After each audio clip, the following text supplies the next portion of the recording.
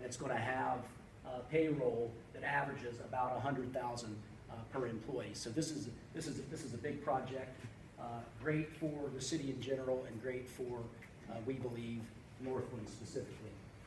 So how do I, what button do I hit here, Dave? Just the right, and, uh, that one should do it, there you go. So again, the project is to fine tune some existing zoning.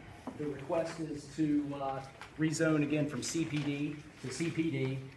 And the reason that you have to do that, uh, often, CPD can get very specific. It has some site plan associated with it often, which has buildings, and exactly where, where they're gonna go and what they're gonna look like. It also has development text uh, with it, and you have to operate specifically as provided in that development text.